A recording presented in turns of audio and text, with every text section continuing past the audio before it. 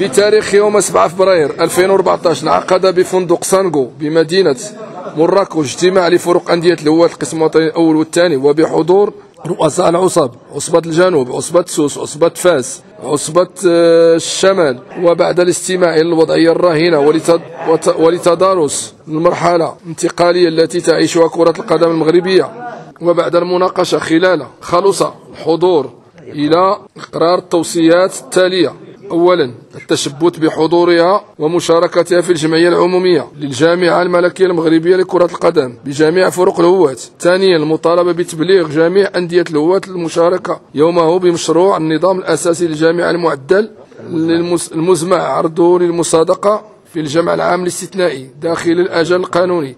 ثالثا التأكيد على ما جاء في التوصيات السابقة في بلاغ اجتماع 15 واحد 2014 في الدار البيضاء والتي بقيت دون جواب والمرفق ببلاغها بهذا البيان. رابعا عدم مصدرية مضمون المراسلات الواردة على السادة رؤساء العصاب لانتداب ممثلي أندية الهواة في الجمع العام. خامسا تسجيل الحضور الاستنكار استنكارهم وتجلي العقوبة الصادرة في حق السيد عبد اللطيف العافية رئيس عصبة الشمال والمضايقات التي يتعرض لها اللجنة المنظمة لأندية الهواة